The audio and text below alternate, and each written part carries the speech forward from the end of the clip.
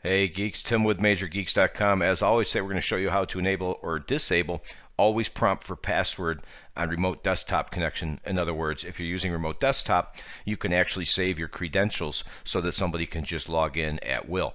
This will force them to put a password in every time. We can do this with the group policy editor in the registry or with registry files. Let's do group policy editor first. Windows key plus R, gpedit.msc. And when that comes up, you can see here, which will be linked to in the video description, in case you want to follow along with that, computer configuration, administrative templates. Slide open so you can see what you're doing. Windows components, remote desktop services, remote desktop session hosts, not connection, session host, and then finally security.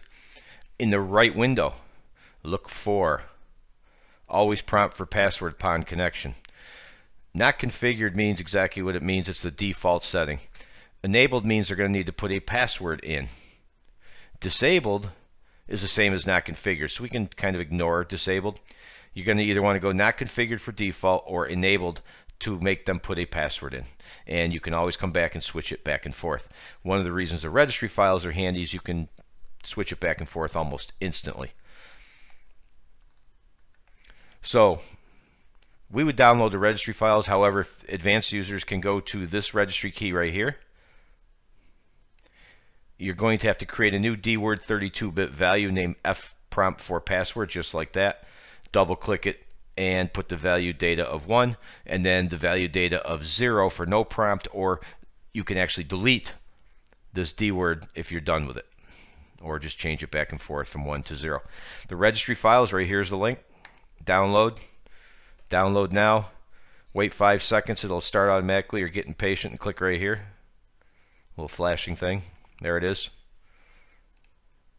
And extract the files.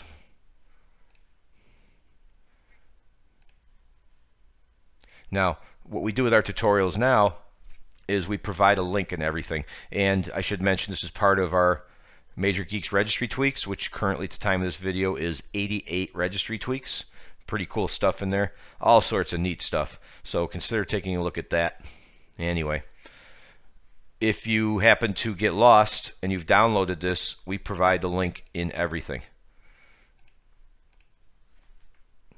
And there you are to the page that we are already looking at in the background. So if you need us, just look for that. So if you want to enable always prompt for password, just double click click on Run, click on Yes, click on Yes again, click on OK. Now the prompt is always on. To restore it, which is why I kind of like the registry files, double click it, repeat, repeat, and it just removes the registry entry that we just showed you. You could actually manually edit yourself. So as you can see, if it's something you think you might want to do on and off, you really can't beat the registry files. So there you have it. Nice way to secure your system a little bit so that somebody has to put a password in every single time. There you have it. You know where to find the uh, subscribe down here, the little Major Geeks logo. And as always, we appreciate you watching. See ya.